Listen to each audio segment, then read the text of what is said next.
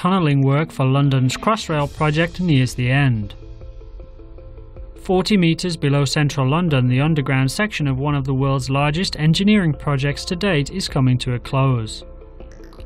London's Crossrail Underground Rail project used eight tunnel boring machines.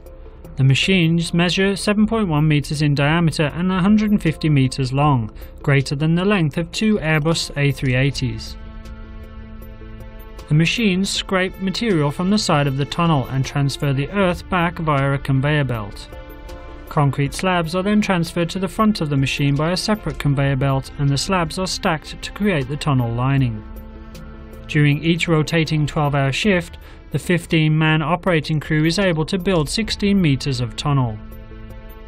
The tunnel is around 6 metres wide, wider than the London Underground's Victoria line but narrower than the Channel Tunnel. With the whole project stretching 42 kilometres, tunnel construction in central London is approaching the finishing line at Farringdon. The tunnelling project began in May 2012. Trains are scheduled to begin running in central London by 2018. Leave an insightful comment on TomoNews.net and you could win up to $500 every month.